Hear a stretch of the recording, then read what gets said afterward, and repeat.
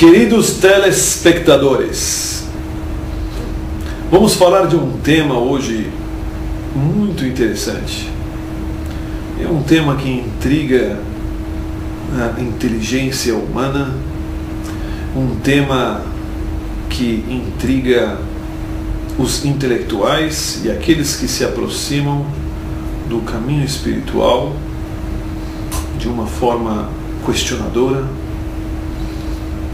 e que tem dúvidas a respeito do que seria a reza. Para que a gente possa entender o processo de reza, o, funcionamento, o mecanismo, ou a ideia que está por trás da reza, é muito importante entender um conceito inicial que já foi ilustrado em alguns filmes no cinema, mas eu vou trazer um exemplo da área da informática, de uma forma bem simplificada, e a partir daí a gente vai elaborar qual seria o tema, qual seria o, o fundamento que está por trás daquilo que se chama rezar. Em informática nós temos um conceito que chama API, ou API, o chamado Application Programming Interface. Application é um aplicativo, certo? Um aplicativo que vai servir para alguma coisa. No caso, as pessoas estão acostumadas a utilizar um aplicativo no seu computador para digitar um texto, para enviar um e-mail, um aplicativo para controlar as suas contas ou controlar as contas dos outros, mas os aplicativos eles servem às pessoas. O Application Programming Interface é um aplicativo que pode servir para outros aplicativos. Por isso chama Programming. E por que, que chama Interface? Porque é uma forma que o sujeito que vai utilizar, ou seja, o software que vai utilizar esse aplicativo, ele precisa de uma face, ele precisa de um, um contato, uma forma de se comunicar com esse software. Você pode falar, Henry, por que você está falando tudo isso? Vamos chegar lá, calma. Vamos por fases. É, uma API normalmente é utilizada por um programador para que ele possa introduzir funções no seu programa. Por exemplo, se eu quero que um programa que eu desenvolvo, um site, por exemplo, fiz um site na internet e agora eu quero que esse site envie e-mails. Eu vou precisar programar toda parte de sistema de envio de e-mails? Não, existe uma API que eu só me utilizo da função send mail e coloco o endereço e o meu software já manda através dessa função. Qual é a vantagem? Que eu só tenho acesso às funções expostas para mim de uma forma simplificada e toda a complexidade que está por trás do processo de um envio de um e-mail, ela está encapsulada, ela está coberta, ela está oculta dentro do software.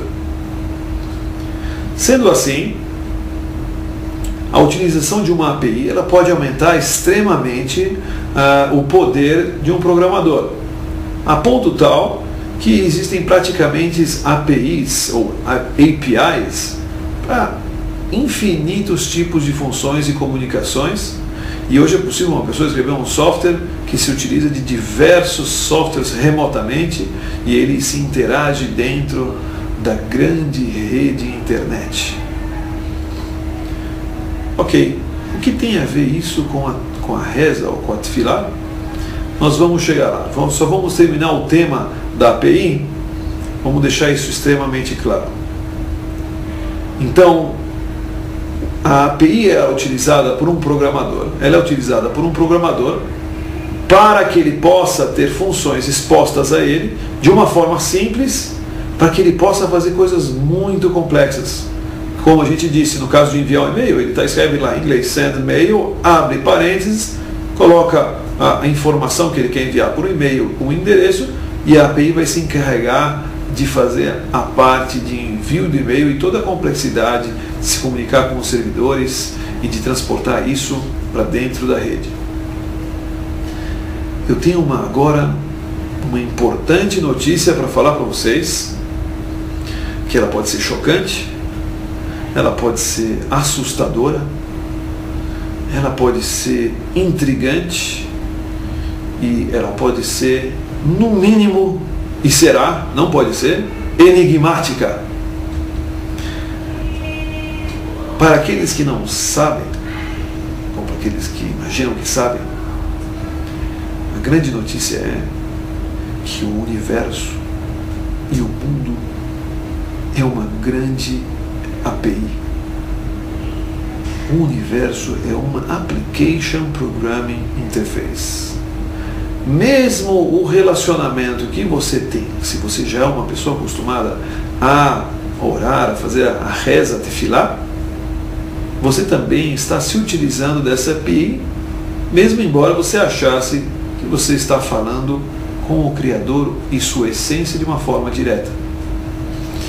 Não, o Criador não teve interesse de deixar exposto em absoluto nenhum aspecto dele para o mundo, a não ser a sua unidade.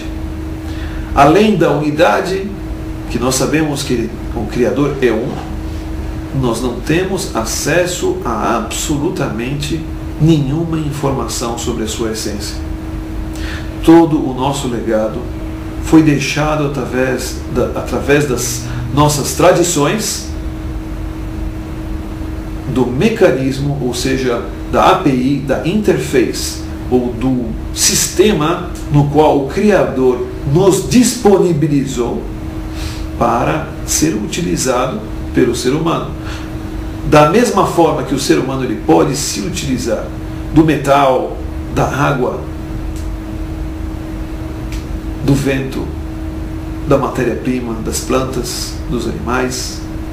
Ele também tem acesso a diversos, diversos e diversos recursos que estão além do físico e que esses recursos, eles são recursos deixados para nós e que são mecanismos para nos comunicarmos e nos utilizarmos dele para nos desenvolvermos espiritualmente. Mas o Criador não teve interesse em se expor no mundo onde nós estamos de uma forma direta.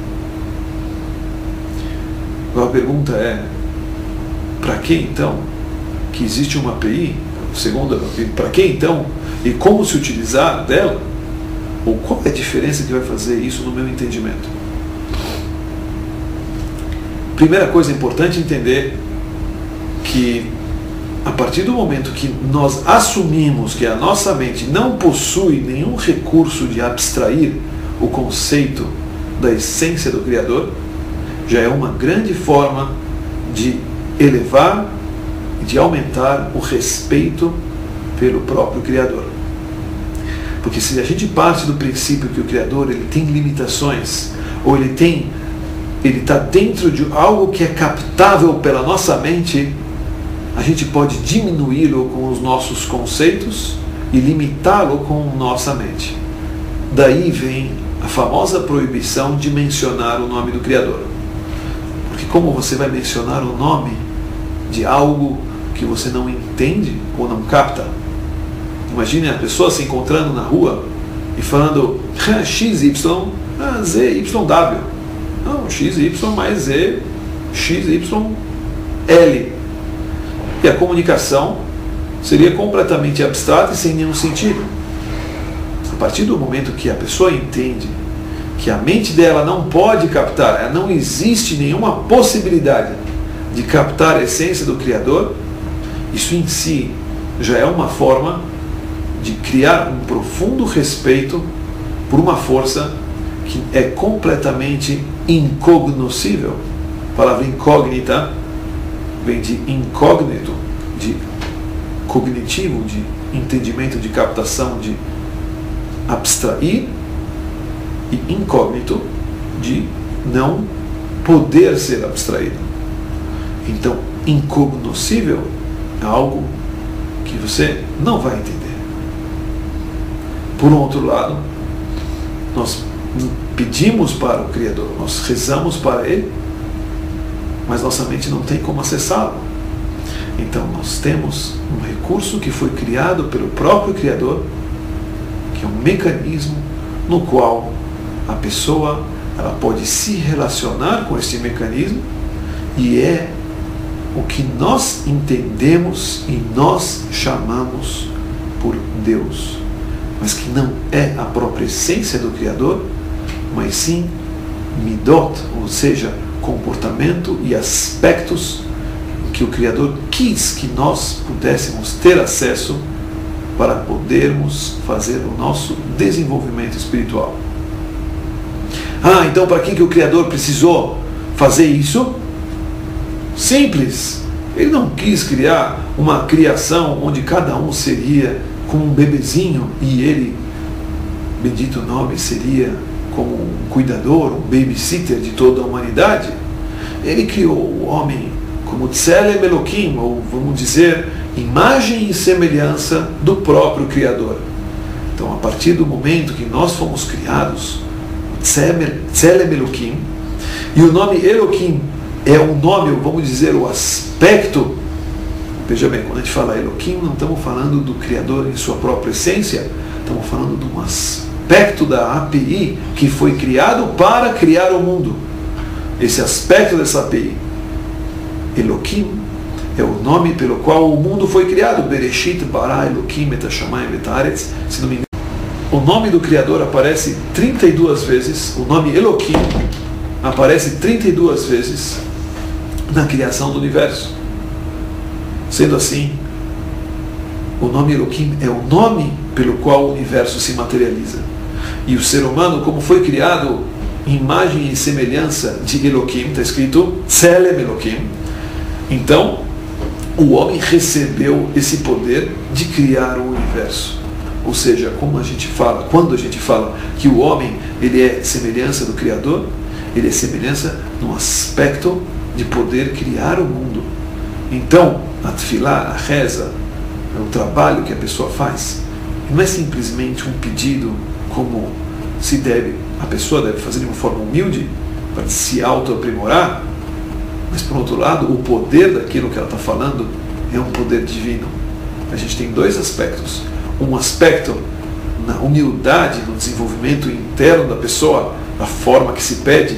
Claro que uma pessoa ela deve sempre pedir, se acostumar a pedir as coisas com humildade, porque ela está recebendo na hora que ela está pedindo, ela está sendo aquela que recebe. O que recebe, ele tem que ter consciência que estar recebendo é menos do que estar dando. Daí a importância da humildade na hora de pedir.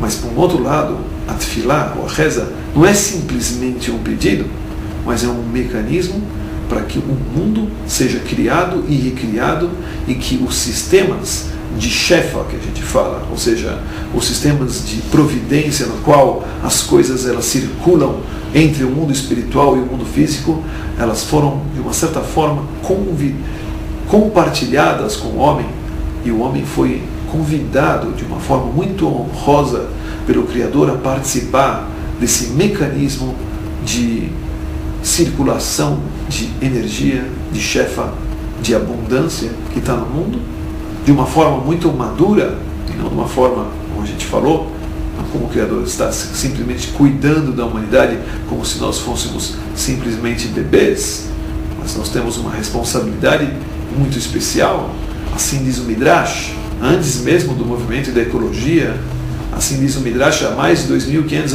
anos atrás, o Midrash, desculpa não me dei a introdução, é uma parte da nossa literatura clássica, antiga, escrita 2.500 anos atrás, que o Criador, depois que criou o mundo, deu a mão para Adam Arishon, deu a mão para o primeiro homem, falou, vamos dar uma volta.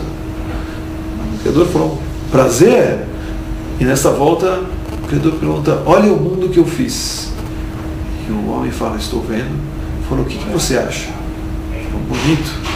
O Criador falou, não é bonito? Falou, muito bonito, Adão falou. Então o Criador falou para ele, então, cuidado para não estragar. Quer dizer, foi dado para o homem a força de também destruir o mundo.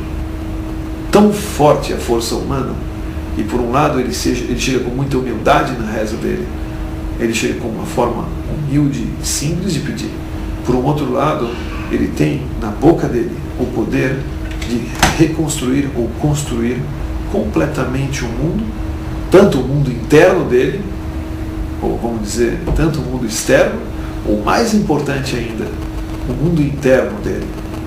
E aí a gente termina o nosso assunto falando que, mesmo embora o mundo hoje, ou a sociedade moderna, ela dá muita atenção para construção de pontes, grandes prédios e carros maravilhosos.